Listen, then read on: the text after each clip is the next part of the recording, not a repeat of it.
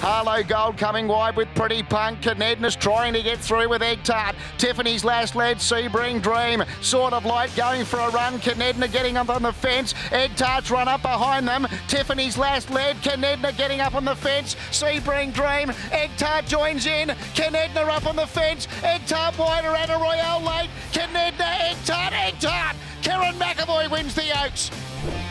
Armour's third. Lady Sharapova was next. Kathy's Mark looking to work into the clear. Fontaine Ruby still well back with delicacy. Winetails coming to the outside, running on, but Fenway led at the 300 metre mark. Fenway from Photocracy, Bahamas, then Durasound. Here's Delicacy running on. It's Fenway in front. Delicacy, the star WA filly down the outside. Then Bahamas. Delicacy moves up, takes the lead. Oh, what a good filly she is. Delicacy beats Fenway.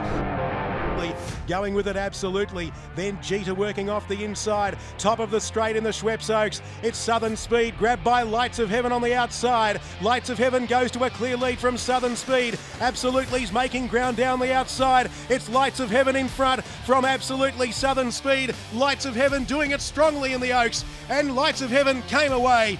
Four wins, four starts, wins it easily, three lengths back and comes after it now. The Weir fillies are first and second at the moment. Down the outside, Temple of Bell, Sattercool battling away. Think Blur led. Suppressor the outside. She's dashing, running on late. Suppressor going up now, running on late down the outside. She's dashing with Miss Aberration, but Suppressor, Suppressor for Harry Coffey, the jockey who overcame adversity, wins his first Group One. Down on the rail, Vegas Jewel, Toffee Tongue sticking to the fence. Affair to Remember gets to the outside, so too La Falaise, walking, flying at the 300. Toffee Tongue building revs down on the fence. Moonlight made one pace, then Salika, Silent Sovereign, Affair to Remember La Falaise. Toffee Tongue reached the lead from walking, flying. Moonlight made, then Salika and Asiago, but Toffee Tongue's clear. They're charging wider out. Toffee Tongue's got them licked in the Oaks.